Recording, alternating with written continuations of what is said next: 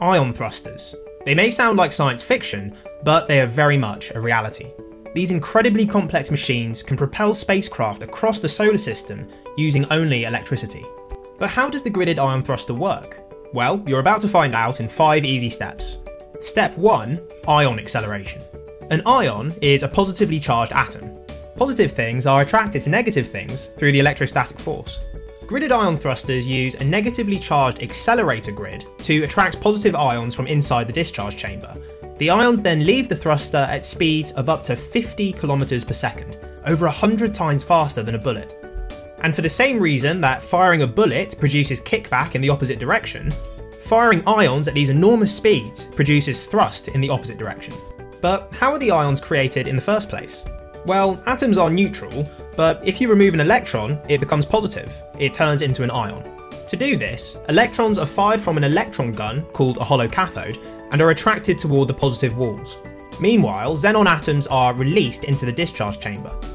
On their journey to the walls, the electrons hit the xenon atoms with so much force that it knocks off one of its electrons. The xenon atoms turn into ions.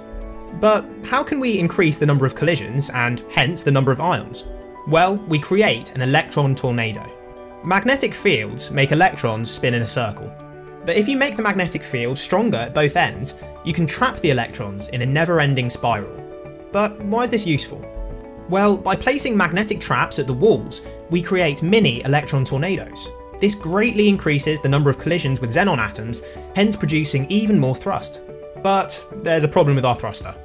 The speed of the ions are so large that when they collide with the accelerator grid, it quickly begins to wear away until there's no accelerator grid left.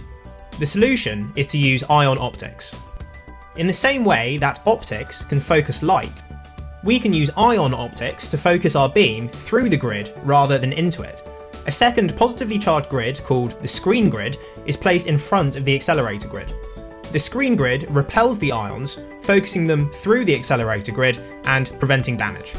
But there's one final issue. As positive ions leave, a negative charge builds up on the thruster. Eventually, the negative charge pulls the positive ions back until they can't leave at all. And if the ions can't leave, then we have no thrust. The solution is to neutralise the beam. A second hollow cathode fires electrons into the ion beam. The negative electrons then recombine with the positive ions and form back into neutral atoms. This means that overall, no charge is lost from the thruster and charge buildup is prevented. So to summarise, positive ions are attracted to the accelerator grid and fired into space. Ions are created by firing electrons at xenon atoms. Ionization is increased by creating electron tornadoes at the walls. Ion optics shield the grid from damage. And finally, the beam is neutralised by an external hollow cathode which prevents charge buildup. There are however two drawbacks to gridded ion thrusters. The biggest is the low thrust.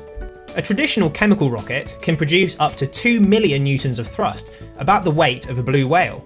But a gridded ion thruster produces a maximum thrust of 300 millinewtons, about the weight of an egg.